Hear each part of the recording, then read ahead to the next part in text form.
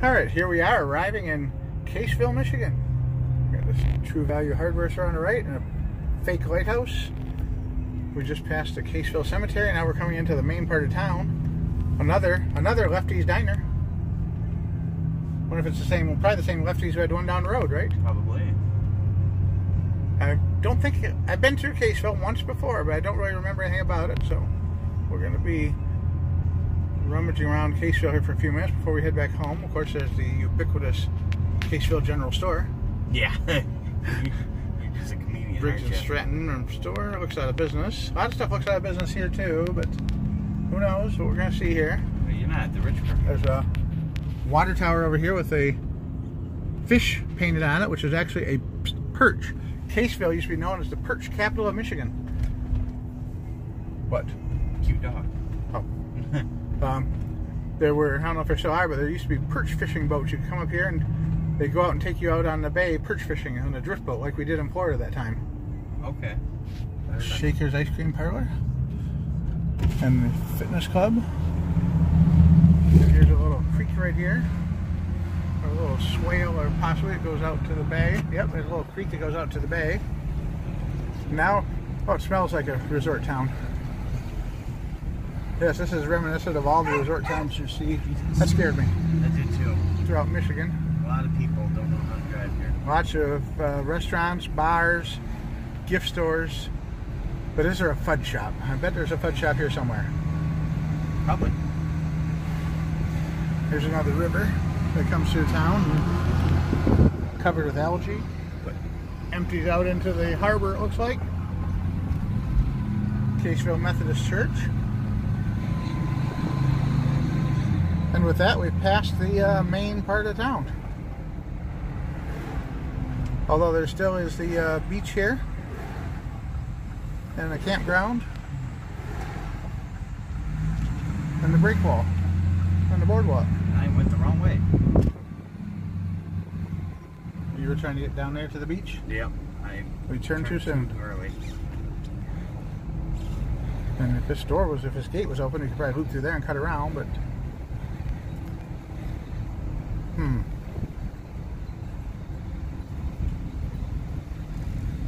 Looks like they keep the campground fairly well locked down, doesn't it? Yeah. Might be able to go this way. I don't think so, Doug. Now, We're gonna find out. this goes nowhere. Leads down to the water. Oh, yeah, it was left only, though. Hey, we're going to get to see Saginaw Bay here in just a second.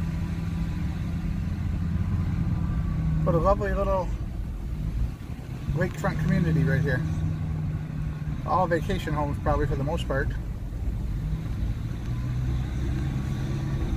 This would be a cold and windy place to live in the wintertime.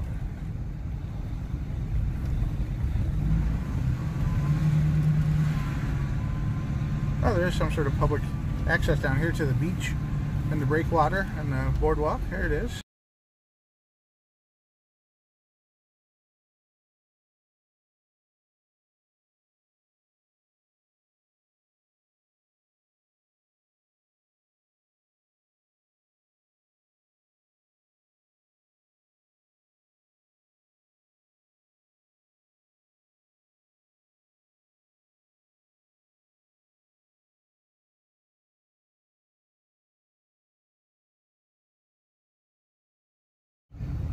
Ratbirds.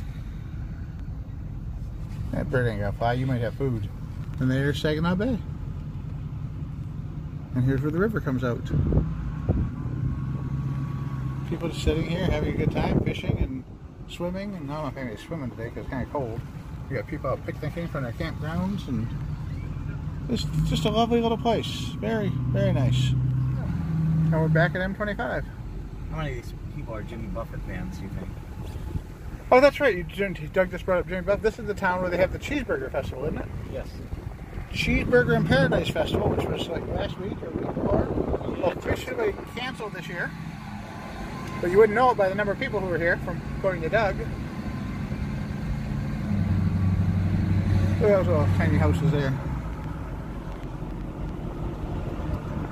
That's a hamburger stand, pizza on the bay, Party Store, Dairy oh, Queen. Private campground? Okay.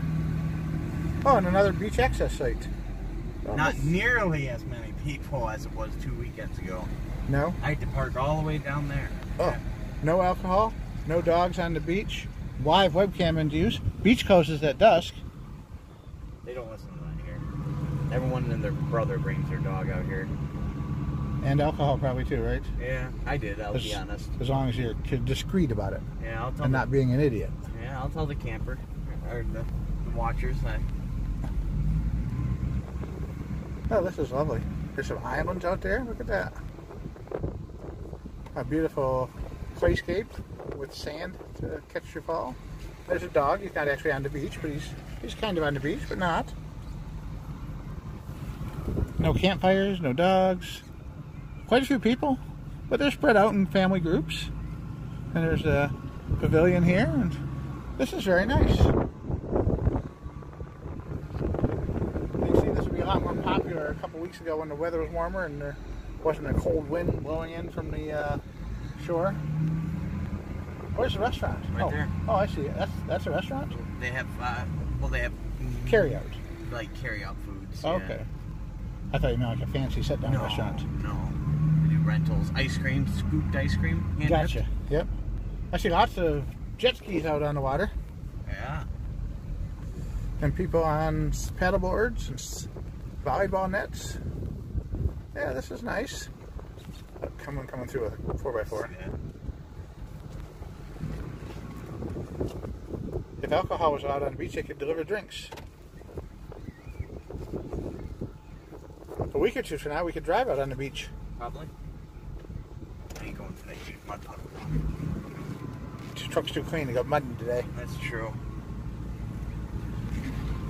Yeah, Baywatch on the beach, a little food concession, and ice cream, and rentals, and everything you need to make your vacation here at the beach fun. Yeah, I gotta say, I've never been exploring of the town before. I drove through it one time, maybe 20 years ago. And after that, I haven't been here. So this is this is pretty nice. I gotta say, I like it.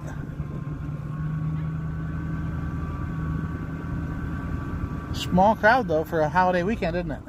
I had to park by this. The white truck is where I had to park. It was so packed. Doug had to park all the way out here last week or two weeks ago when he was here. Yeah, no spots open. Look at the seagull. Oh my goodness, look at the flocks of seagulls.